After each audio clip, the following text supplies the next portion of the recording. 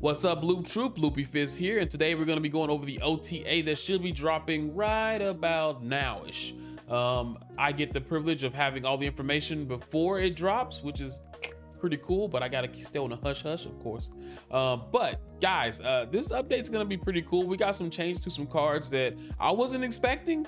Um, and some cards that I was actually talking about in my chat the other day. And the one that I want to talk about is actually that one first. This first card is going to be getting updated. It's actually Hawkeye. This card is, it kind of hits close to home because a lot of people love Hawkeye, the character, but they don't really play with the card that much. Um, he's kind of a card that is easily read and also he's kind of hard to um add into a deck because of things like Killmonger. And just it's only it's a low amount of power that you're going to be getting because at the end of the day the card's going to be a 1-3 but it's forcing you to have to play a card in that location next turn. Otherwise you are going to get penalized. So what they've done here is they've actually increased the amount of power that you're going to get on the next turn. Instead of getting plus two, now you're gonna get plus three, which is a nice little buff to him. I don't know if it's gonna be enough to make people play this card a ton more. Of course, they can always spitball and see if there's any reason why to, to add you know, more power to it, or maybe just rework the card completely. I don't know. But these little OTA um, updates, they're really nice because it lets you gauge how people are going to how how people are going to use the card after it gets changed, right? Um, I, I can assure you, I can ensure you that after last month's hit to uh, Hit Monkey, he's not used as much anymore. And they might take it into account next time and think about doing an OTA. But there's tons of cards and there's tons of things to change. But I think that this could be a cool change. Um, and one thing that you can't think about is that this could be used in Bounce now, maybe. Um, or maybe it can just get pushed up to being used in Cerebro 4.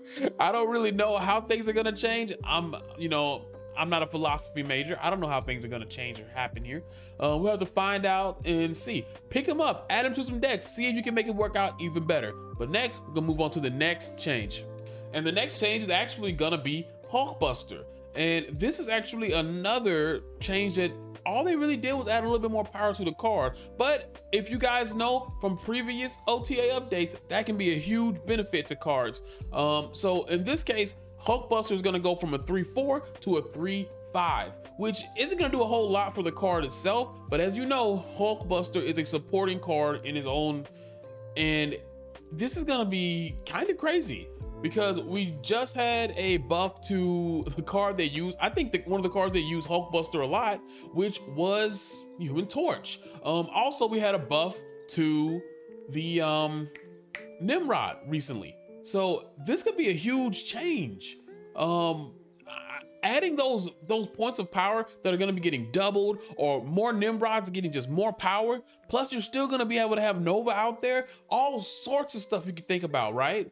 So I don't really know how this card is going to go or where it's going to go from here, but having this is you got to think about it. Think about this real quick.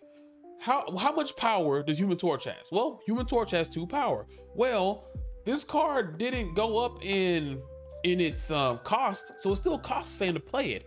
Well, now you're gonna be able to get a what? It's gonna be seven power on Human Torch. On the if you try to do an Iron Fist and a Human Torch with the Hulkbuster. well, that's gonna be 14. That's a 14 powered Human Torch off of the first rip you play in. So that's gonna be kind of crazy. And I think what happened is when they up when they when they decrease the cost of the Phoenix Force, Hulkbuster took a hit and nobody was playing him as much anymore, right? So hopefully now we can see this card come back into those Phoenix Force decks with movement and we can just get a lot more play with it and see where things are gonna go. Add this card to your decks, guys. I wanna see some crazy decks. Um, let's just let's just see and experiment and see what kind of inhuman creations we can do. I, I just want to see it. Let's do it. All right, now on to the next change, which is gonna be Vision. And this was a really cool change as well. Um, it's kind of funny because I remember when uh, someone I think I forgot who it was that was interviewing. Oh, it was actually Binks. Binks was interviewing Ben Brode, and they were talking about cards, and they were talking about Legion right before Legion came out and he was like, "Well, you know, he's a five eight. He's a five eight. And I mean, I can't I can't disagree with him. Five eights are actually cool, and I actually really like Vision. Um, they talk about how Vision was kind of only seen in like Lockjaw decks, and that was really about it. I actually really enjoyed playing Vision in decks that people don't expect because you can drop Shuri down, and then you can play Vision, and then you can move Vision and this, I guess this was kind of before Phoenix Force was a thing because Phoenix Force has the same ability as Vision and it, and Phoenix Force gets way more power. So why would you ever want to play Vision? Um, I guess the least, you don't have a lot of setup, right? You don't have to kill something and then bring it back and hope you kill the right, right, the right thing. If you only killed, if you killed more than one. So there's a lot of setup steps for Phoenix Force. And it might not seem like a lot, but it is a lot when you go to three and four steps to get a card out.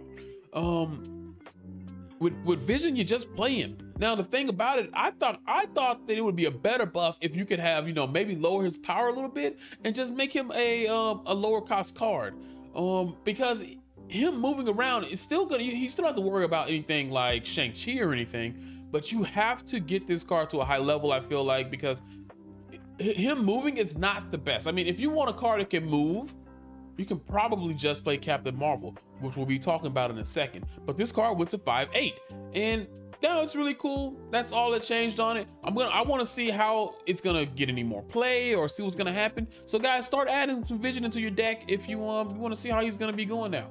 I love these changes because it changes the cards that we already have. It's it's not something coming out that we hope to get like in a spotlight cache or something like that. So this is a really cool change. Um, but like I was saying, Captain Marvel is actually the next change that is on my list and. it's kind of it's kind of weird. So this card right here, um, always it says, you know, at the end of the game, move to location if it wins the game for you if possible. But the thing about it that people just weren't really playing it that much. Um, so what they've done here is they've changed it from a 5-6 to a 4-5. So hopefully you can get more, you know, Captain Captain Marvel out. Um, because turn five is a very that's a swing heavy um that's a swing heavy turn.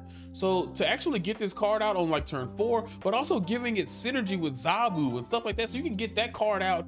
Because in all honesty, I've never, I never thought that Captain Marvel was some fantastic card that you can just have in a deck and play it on five and it just changes the entire game.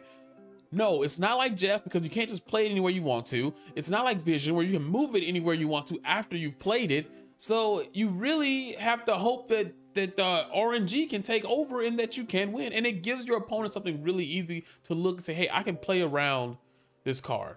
Now they're gonna think about playing around this card after turn four instead of after turn five, which puts a lot of mental stack on them. So hopefully this can be an upgrade to this card. And I'm excited. I don't really play a whole lot of Captain Marvel, but I think I might be able to drop her into a Zabu deck now and see what I can do. Um, I just do wish that she could also take into account if there were other Captain Marvels on the board, but that has not been changed yet, and it probably never will.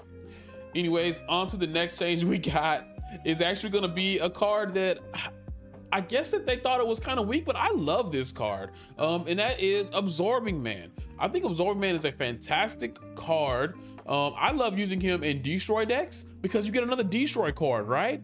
Um, especially when you do things like the, the video that I posted not too long ago with the um the well I I called it the uh, Death Power Recycle, but somebody told me a better name and it was called Death Loop. I love that, so that's the name it's gonna be. If you want to check that deck out, I'll put it in the um I'll put it into the um into a little card up here somewhere, so you guys can go check that out.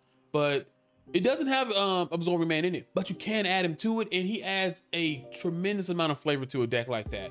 Um, and I know a lot of Destroy decks are on, on on reveal cards. So he just works out in those decks really well, especially with Taskmaster. You can Taskmaster and then get another Taskmaster. You can do a lot of things with this card. Um, but besides that, they changed him from being a 4-3 to a 4-5, so he has a little bit more power. Now, the thing about that is, to me, I think that's kind of a buff to like the Venom aspect of things because you can you can make a lane, then you can Venom, and then you can eat the venom with absorbing man who's gonna absorb the venom it's it's a crazy like a little that's the thing in the death loop kind of how it goes into play Um, and then if you want to, you can try to go even further and go into a um a Phoenix Force. You can do a lot of different things with this card, and that's just me thinking about the death aspect of it. Um, but it's cool to know that they've increased the power because cards that don't manipulate power after you play them with on reveal, this is gonna be really cool for that. Um, so things like Ironheart, you know, or maybe you want to. Uh, I don't know why you'd want to, but you can maybe Shuri and then Absorbing Man and then play another card. And now you've gotten this boom, boom, boom, this step up Shuri that you got there. And that's pretty cool. Um, doing things like that, you know. Um, but I don't, I, I guess people just hadn't been playing with him a lot. So I'm happy to see him change um, and see how it's going to be. Of course, things are still going to have to be in play for it to work. So always keep that in mind. There was no change with that. But that was the last change we had for the OTA. I know not a super long video, but I'm excited to see how these cards are going to be going. I'm definitely going to be trying out Absorbing Man with the 4-5. Just adding a little bit more power and throwing him into a D-Shore deck is going to be really fun. Um, also probably going to be trying out Hawkeye just because he's a card that I haven't used a whole lot of. Simply because he just didn't seem very strong. When there's things like Killmonger running around, you just don't want to drop a Hawkeye like that, you know? So, you know what, guys, tell me what's your favorite card that got updated in this OTA. And maybe I'll feature a comment over in the next video. Who knows? maybe in the next OTA. I don't know. You guys have been commenting like crazy, by the way. And we're almost to a thousand subscribers on YouTube. So thank you guys a whole lot. But that being said, if you guys enjoy the video, be sure to click my face right here. I got the new logo. It looks really nice. Thank you. Um, but also, we got some videos right here. So if you want to check those out, hey, I'm pretty sure YouTube's going to recommend a really nice one for you. Peace out. Catch you next time.